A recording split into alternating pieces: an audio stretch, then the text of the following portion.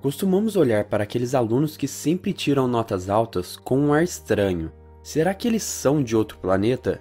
Como é possível que eles consigam notas tão altas?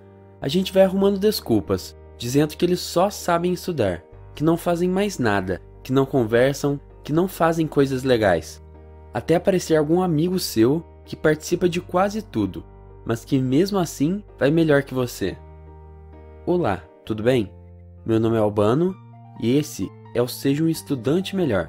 Hoje o tema são os hábitos dos estudantes bem-sucedidos. Porque eles conseguem fazer o que o resto dos estudantes não consegue? Pense essencialmente nas suas duas primeiras semanas de aula. O que costumamos fazer nelas é basicamente fingir que vamos às aulas, pois pouco conteúdo importante é passado. E aí, aproveitamos esse período para rever nossos colegas, ir às festas e nos ambientar novamente com o ritmo de aula. Em contrapartida, agora imagine se você pegasse esse tempo livre durante as primeiras semanas para se organizar, conhecer e estudar seus novos professores e se adiantar nas matérias. Consegue entender que vai existir um pouco mais de dedicação e trabalho duro aqui, mas que é isso que os estudantes bem-sucedidos fazem e que os colocam num patamar muito mais avançado que o seu? Hábito número 1: um, aproveite de forma certa, as primeiras semanas. Agora imagine aquele momento que seu professor pede que você faça algum trabalho e te dá algumas alternativas de tema. Qual o tema que você escolhe?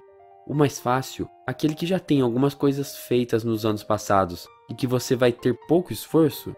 Ou você vai escolher o tema que você realmente gosta mais e que pode te fazer evoluir como pessoa?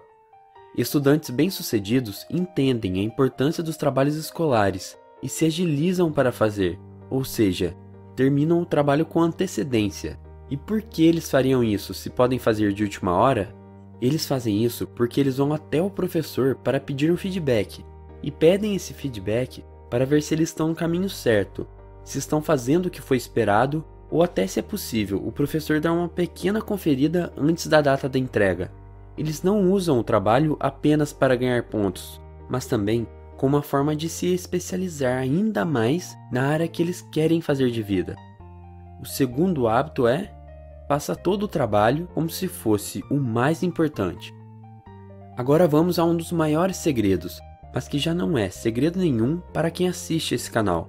Quero falar de uma das diferenças entre amadores e profissionais. Vamos pensar no boxe.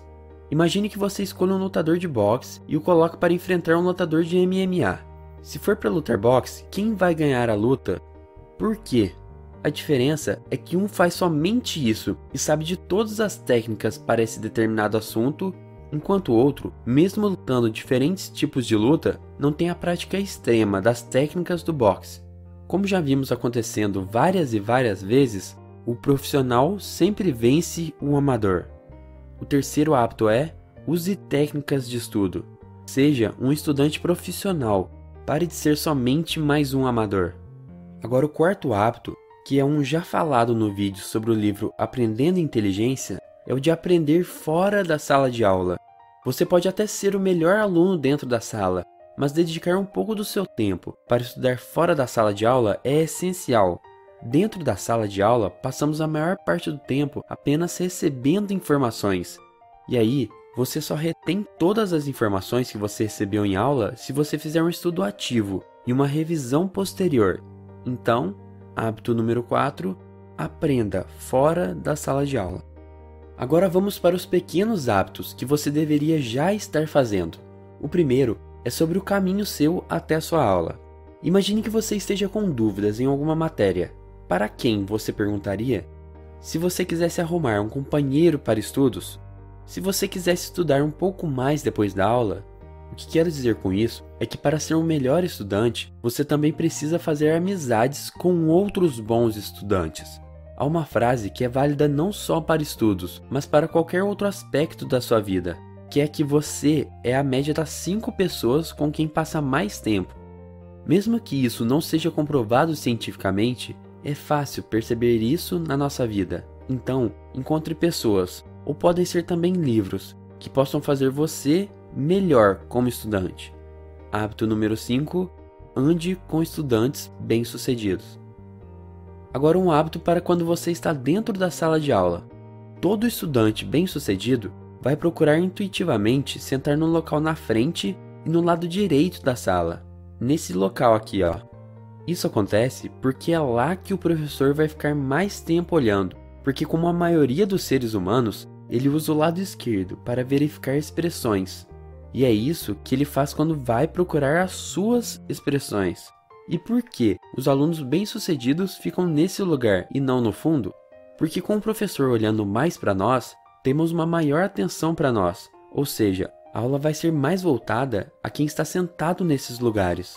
Um outro benefício é que ele vai servir como uma disciplina sobre você, pois como você sempre está sendo olhado pelo professor, você vai ter que estar sempre prestando atenção. Hábito número 6: sente-se na frente e no lado direito. E esses foram seis hábitos práticos para você ser um estudante bem-sucedido. Existem vários outros pequenos hábitos, mas escolhi os que acredito seriam os mais práticos e também recomendo que você vá aos poucos, um hábito por vez. Se gostou, lembre-se de deixar seu joinha no vídeo e acompanhar outros vídeos aqui do canal. Um grande abraço e seja um estudante melhor.